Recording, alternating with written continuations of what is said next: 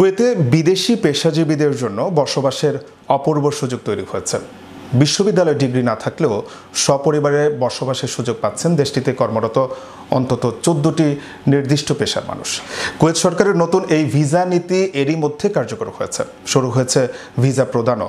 দেশটিতে এক্সপের্টস রেজিডেন্সিয়ালের অধীনে প্রবাসীদের জন্য ফ্যামিলি ভিজিট ভিসায় সপরিবারে বসবাসের সুযোগ রয়েছে। তবে পরিবারের সদস্যদের ভিসার মেয়াদের চেয়ে বেশি সময় অবস্থান ঠেকাতে এখন থেকে প্রায় এক বছর আগে ফ্যামিলি ভিজিট ভিসা বন্ধ করে দেয় কুয়েত কর্তৃপক্ষ। তবে পুরনো পদ্ধতির কিছু সংস্কার, পরিবর্তন ও পরিমার্জনের পর প্রবাসীদের জন্য আবারও ফ্যামিলি ভিজিট ভিসা চালু করা হয়েছে।